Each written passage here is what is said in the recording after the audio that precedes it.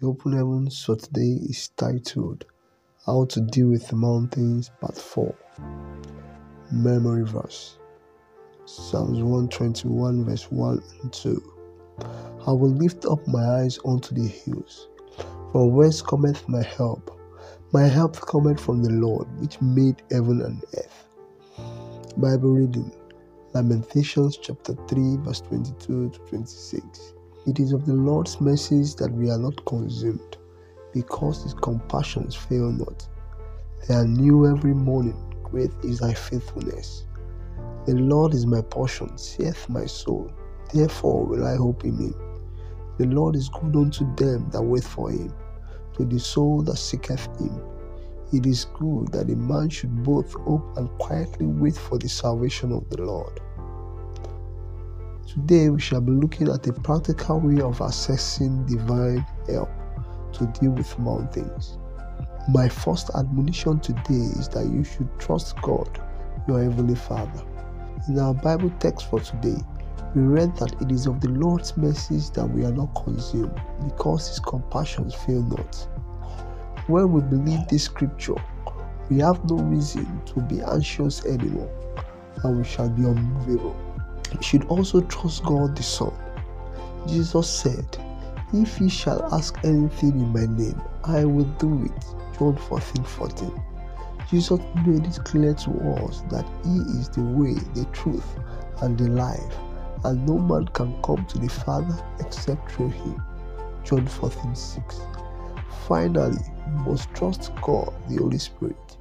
For power and strength He is our energizer and the seal of our salvation. We can only succeed through life's journey by His help. The Bible says in John 14 17, even the Spirit of truth, whom the world cannot receive, because it seeth him not, neither knoweth him, but ye know him, for he dwelleth with you, and shall be in you. You should always remember the mercies of God according to our text of today. In 1 Samuel 17, verse 37, David said, The Lord that delivered me out of the paw of the lion and out of the paw of the bear, he will deliver me out of the hand of this Philistine. David remembered the mercy of God that once delivered him from the danger of death, and the mountain of Goliath fell before him according to Jesus in Matthew chapter 17, verse 20. We must have faith in God if we want to surmount the mountains of life. Finally, live righteously. The Bible says, Say to the righteous, There shall be well with him, for they shall eat the fruit of their doings.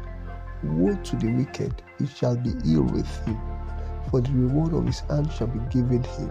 Isaiah chapter 3, verses 10 and 11. In other words, only those who belong to God can surmount the mountains of life. If you have not accepted Jesus Christ as your Lord and Savior, plead with Him to forgive your sins and make you His child. You shall overcome in Jesus' name. Prayer point Father, please make me a doer of your word and level all the mountains of my life today in Jesus' name. Amen.